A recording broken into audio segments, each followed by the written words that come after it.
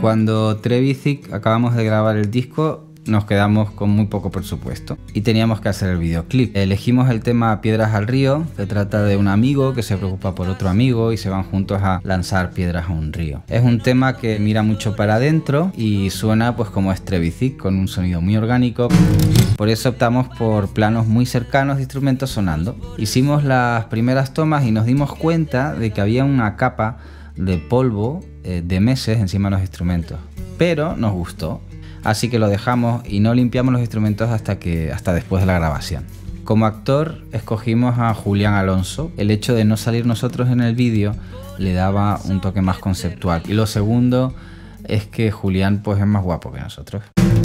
Para nosotros la letra del tema era muy importante. De hecho, al principio queríamos hacer un video lyric, donde se ve el vídeo y se va viendo la, letra del tema. Y entonces nos propuso una idea nuestra diseñadora gráfica, que se llama Javiera JPG, proyectar las letras mientras se escriben sobre la piel del actor.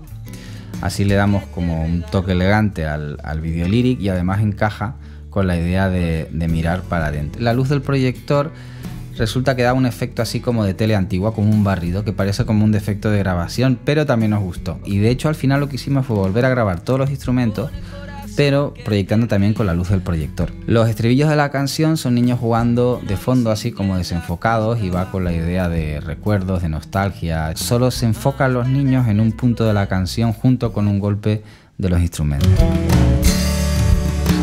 Y por último, el puente da un giro sonoro al tema hacia ritmos tribales. Queríamos reflejar esa sensación como inquietante, como de trance, como ritual, como, como salirse fuera de, de uno mismo. Lo hicimos con dos máscaras y un tambor africano y una máquina de humo. Y así quedó. Si estáis en YouTube podéis ver el vídeo completo pichando aquí arriba. O en nuestra página rockmadera.com.